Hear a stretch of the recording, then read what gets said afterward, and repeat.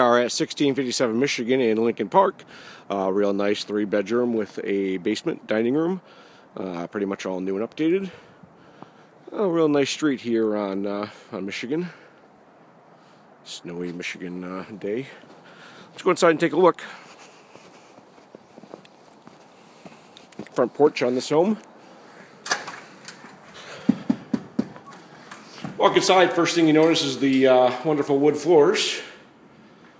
Uh, this would be your living room. It's about 20 feet by 20 feet or so.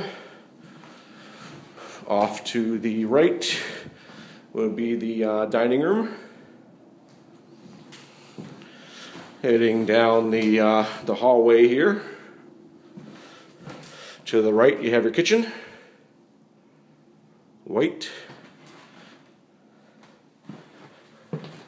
Uh, next room to your right is the bathroom. This home is clean and ready to go. Uh, master bedroom right here. This is a little bit bigger than the rest of the rooms. I'd say it's about oh, 14 feet by 14 feet.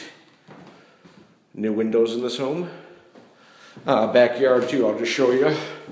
Uh, garage and also a back deck. Big backyard, all fenced in. Heading out of the bedroom, bedroom number two, a little bit smaller, I'd say it's about uh, 12 by 10. And then bedroom number three, this one right now is painted up for a little princess, but it can be painted if needed. It's got a little, little mermaid uh, theme to it. Heading uh, through the kitchen, we'll go downstairs and look at the basement.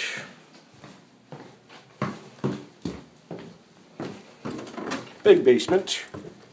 It's got uh, individual rooms on the actual basement.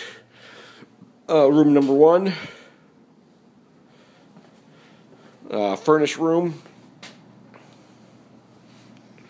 uh, area over here for your washer and dryer.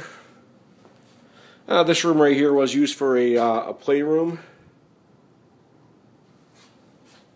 And then a just a back storage area uh, back here.